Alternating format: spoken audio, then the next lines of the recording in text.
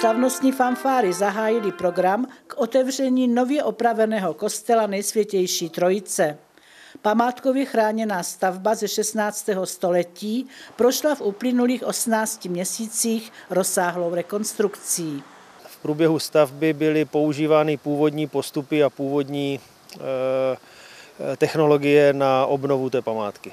Převážnou většinu e, prací byly tesařské práce na výměně jak stěnových, tak eh, střešních trámů. To byla taková pro nás velká, velká výzva, protože představte si, ta střecha, když byla podepřená jenom na sloupech a pod ní byl prostor. Takže staticky to pro nás bylo taková úplně novinka a jsme obrovské zkušenosti to získali. Toto bylo něco nového a jsme rádi, že to máme za sebou, máme pěknou referenci a myslím si, že nám to dílo zdařilo.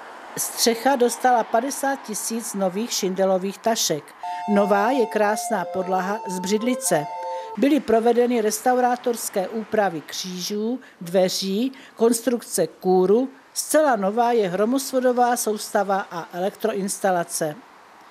Součástí slavnostního otevření, kterého se zúčastnili zástupci kraje, města, dodavatelů a odborná veřejnost, byla rozsáhlá prezentace stavebních prací připravená Muzeem regionu Valašsko.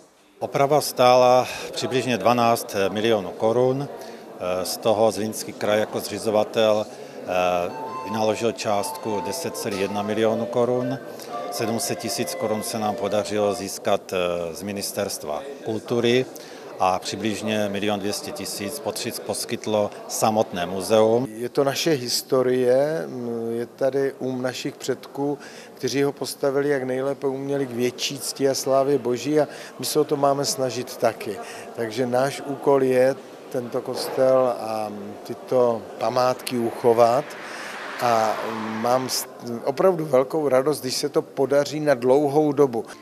Veřejnosti se kostel poprvé otevře při tradiční rybově českém šivánoční. Hudba zazněla ale již při otevření, a to v podání žáků místní základní umělecké školy.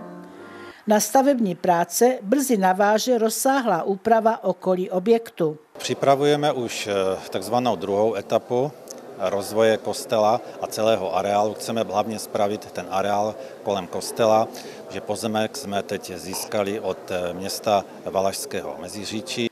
Chystá se naučná stezka, vybudování příjezdové cesty a sociálního zařízení.